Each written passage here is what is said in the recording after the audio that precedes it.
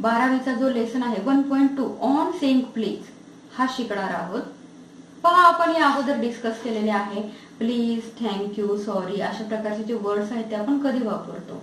तर एक अतिशय गमतीशीर अशा प्रकारचा इन्सिडेंट या लेसनमध्ये नरेट केलेला आहे. एक फॉर एक्झाम्पल घ्या स्वतःच्याच लाईफ मधलं की तुम्ही एखाद्या पब्लिक प्लेस मध्ये गेलेला आहात. आणि त्या पब्लिक प्लेस मध्ये गेल्याच्यानंतर तुमच्या हातून काहीतरी अशा प्रकारची गोष्ट घडते की तुम्हाला सॉरी म्हणावं लागतं प्लीज म्हणावं लागतं. की तुमचा एखाद्याला धक्काच लागला तर तुम्हाला सॉरी म्हणणं भाग पडतं. आणि जर त्या वेळेला तुम्ही सॉरी नाही म्हटलात तर त्यापुढे काय घडतं? याचा अनुभव बरेच जणांना असेल सॉरी न म्हटलं प्लीज नाही म्हटलं. आणि त्यामुळे काय घडलं? याचा अनुभव बरेचदा असेल. तर लेसनमध्ये अशाच प्रकारचा एक व्यक्ती आहे जो की शेवटपर्यंत प्लीज असं म्हणायला तयार नाही अतिशय गमतीशीर अशा प्रकारचा इन्सिडेंट आहे चला तर मग आपण पाहूयात on saying please The young liftman in a city office who threw a passenger out of his lift the other morning and was fined for the offense was undoubtedly in the wrong. It was a question of please. The complainant entering the lift said top. The liftman demanded top please and this concession being refused, he not only declined to comply with the instruction but hurled the passenger out of the lift. हा काय घडलेला आहे the young liftman liftman आहे city office मधला आणि त्याने काय केलेलं आहे तर हु थ्रू अ पॅसेंजर एका पॅसेंजरला त्याच्या लिफ्ट मधून बाहेर फेकलेला आहे पहा अँड तो फाईन फॉर द ऑफेन्स आणि त्याने काय केलं तर त्याला फाईन देखील लावलेला आहे. की तू फाईन भरायचास. कारण तो ऑफेन्स केलेला आहे. ऑफेन्स याचा अर्थ गुन्हा केलेला आहे असं त्या लिफ्टमॅनचं म्हणणं आहे. But undoubtedly in the wrong actually हे खरं तर रॉंग आहे. त्याने जो ऑफेन्स केलाय तो कोणता? तो पाहूयात आपण इथे पुढच्याच लाईन मध्ये डिस्कस करूयात. It was a question of please तर ऑफेन्स जो आहे तो काय प्रकारचा होता? तर प्लीज वरून घडलेला थोडासा वाद होता. पहा the complainant enter in the lift हा जो होता पॅसेंजर त्यालाच कंप्लेनंट बोललेला आहे. त्याच्या अगेन्स्ट कंप्लेंट आहे लिफ्टमॅनची एंटर इन द लिफ्ट आणि मग तो जो पॅसेंजर आहे त्याने काय केलं? तर लिफ्टमध्ये आलेला होता. आणि आल्यानंतर फक्त बोलला टॉप तर हा जो लिफ्टमॅन आहे त्याला मात्र अशा प्रकारे ऐकायची सवय नाही. आणि तो म्हणतो फक्त असं म्हणायचं नाही टॉप तर त्याचं मत होतं टॉप प्लीज असं त्या पॅसेंजरने म्हटलं म्हणायला पाहिजे होतं. जे की तो म्हणालेला नव्हता and this concession being refused he not only declined त्याच वेळेला हा जो पॅसेंजर आहे थोडासा अरेगंट आपल्याला दिसतोय तर ह्याने सांगितलं आपल्याला लिफ्ट मॅनने टॉप प्लीज बोलायचे. परंतु आपला पॅसेंजर मात्र रेडी नाही त्याचं ऐकण्यासाठी. पाहिलेले not only decline to comply पहा का कॉम्प्लाय म्हणजे पालन करणे. कॉम्प्लाय विथ इन्स्ट्रक्शन कसल्याही इन्स्ट्रक्शनचं पालन करण्यासाठी तो रेडी नव्हता. त्याने सगळ्या गोष्टी डिक्लाईन याचा अर्थ रिफ्यूज करणे. रिफ्यूज केलेल्या होत्या but heard the passenger out of the lift आणि त्याने असं केलं म्हणून आपल्या लिफ्ट मॅनने या पॅसेंजरला काय केलं? हर्ड याचा अर्थ बाहेर फेकून गेलेला आहे त्या लिफ्ट मधून. अशा प्रकारे इन्सिडेंट घडलेला आहे. This of course was carrying a comment on manner far. Discourtesy is not a legal offense and it and it does not excuse assault and battery. If a burglar breaks into my house and I knock him down, the law will acquit me. And if I am physically assaulted, it will permit me to retaliate with reasonable violence. It does this because the burglar and my assailant have broken quite definite commands of the law, but no legal system could attempt to legislate against bad manners or could sanction the use of violence against something which it does not itself recognize as a legally punishable offense.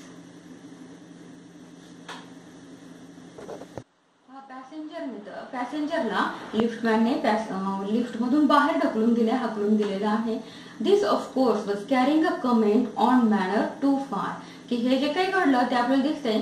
Manners मुळे घडलेलं आहे की हा जो आहे आपला passenger त्याला बहुधा मॅनर्स नसावे तो प्लीज वगैरे काही म्हणायला तयार नाही. डिस्कर्टसी पहा डिस्कर्टसीचं मिनिंग इथे दिलेलं आहे ब्लू बॉक्समध्ये. Lack of courtesy or rudeness जसं की मी आता सांगितलं अरोगंट थोडक्यात. की is not a legal offence की एखादा माणूस डिस्कर्टसी दाखवतोय. तो अजिबात उद्धटपणे वागत जास्त उद्धटपणे वागतोय किंवा रूडली वागतोय तर ह्या बिहेवियरला आपण एक लिगल ऑफेन्स आहे किंवा मोठा क्राईम आहे गुन्हा आहे असं आपण म्हणू शकत नाही. And it does not excuse assault and battery का असॉल्ट अँड बॅटरी म्हणजे इथं दिलेलं आहे. And attack attack which includes not only threats also the actual use of violence की की हा एक प्रकारचा व्हायलन्स देखील नाही. माणूस एखादा उद्धट असणं म्हणजे काही तो मोठा व्हायलन्स करतोय असं देखील नाही. तर ह्या लिफ्टमॅनच्या मते त्याने मोठा ऑफेन्स केलेला होता ज्याच्या आणि त्या ऑफेन्ससाठी हा आपला लिफ्टमॅन त्याच्याकडून फाईन देखील घेत होता. अतिशय टोटली रॉंग होतं. परंतु दुसऱ्याच बाजूला आपल्याला हे देखील कळतंय की पॅसेंजर जो आहे तो प्लीज म्हणायला तयार नाही. हे देखील एक रॉंगच आहे. If a burglar breaks in to my house पहा एक एक्झाम्पल दिलेला आहे छानसा आपल्या ऑथरने आपल्याला की एखादा बर्गलर म्हणजे घरफोडी करणारा असेल तर त्याने माझं घर फोडलं आणि तो घरामध्ये आला. And I knock him down आणि त्याच वेळेला आय याचा अर्थ इथं आपण ऑथर घेऊया. त्याच वेळेला आपल्या ऑथरने किंवा लेखकाने त्याला काय केलं? तर नॉकडाऊन केलंय. The law will acquit me तर लॉ मात्र सांगेल की हे चुकीचं आहे.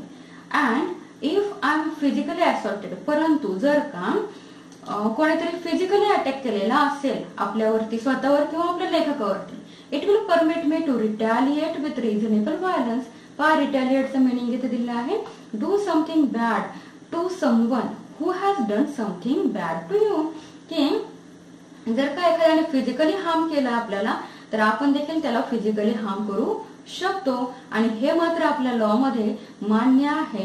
परंतु जर का बर्गलरने काही केलं नाही फक्त घर फोडलंय तर आपण त्याला मारू शकत नाही. तर अशा प्रकारचा आपला लॉ आहे.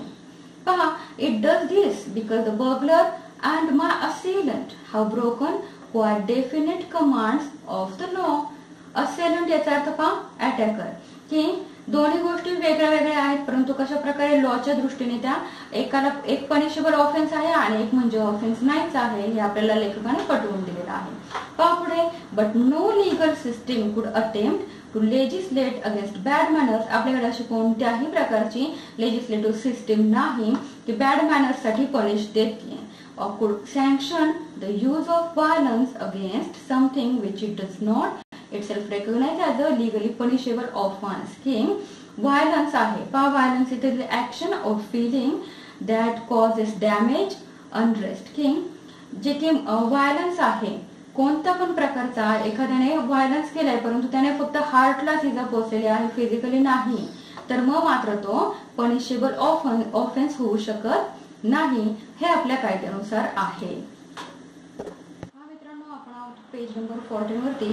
फर्स्ट पॅरेग्राफ चाललेला आहे आपला अजूनही हा and uh sympathy with the lift man we must admit that the law is reasonable it would never do if we were at liberty to box people's ears because we did not like the behavior or the tone of their voices or the scowl on their faces. Our fists would never be idle and the gutters of the city Would run with blood all day. अतिशय गमतीशीररित्या author आपल्याला पटवून देतो. पहा की काय केलेलं आहे? And sympathy with the liftman आपण जो की लिफ्टमॅन आहे त्यालाच सिम्पथी दाखवतो. कारण आपल्याला वाटतं की हा माणूस अतिशय रूढ आहे. त्याला प्लीज म्हणायला काही जातं इतकं. So we must admit that the law is reasonable की कायदा जो आहे तो काहीच गोष्टींसाठी आहे. आपल्या हे लक्षात येते पहा. It would never do if we were at liberty to box box याचा अर्थ पहा fight with the fist fist याचा अर्थ मूठ आपल्या हाताची जी मूठ आहे ती. की आपल्याला जर का अशा प्रकारची लिबर्टी लिबर्टी याचा अर्थ स्वातंत्र्य मिळालं असतं की काय करा?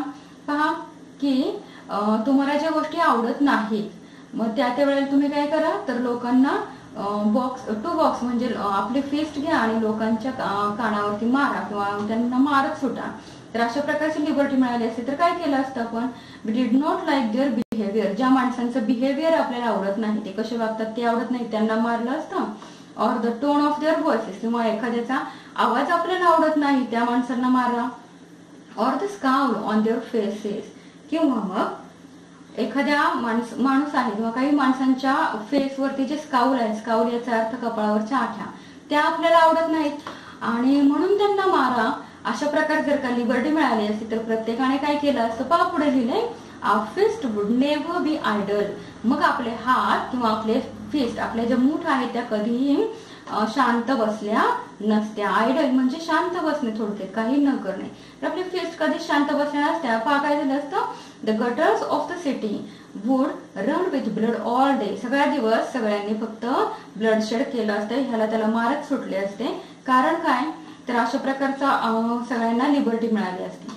तर याच प्रकारे आपला हा जो लिफ्टमॅन आहे त्याला देखील काही अशा प्रकारची लिबर्टी मिळालेली नाही की त्याला हवं तसंच इतर पॅसेंजर्सने वागलं पाहिजे.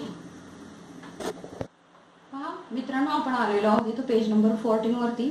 फर्स्ट पॅरेग्राफ आपला संपलेला आहे. या पुढील जो लेसन आहे तो आपण डिस्कस करूयात. नेक्स्ट व्हिडिओमध्ये ऑन सिंग प्लेसच्या पार्ट टू मध्ये. तोपर्यंत व्हिडिओ जर आवडला असेल तर लाईक शेअर कमेंट आणि सबस्क्राईब करायला विसरू नका.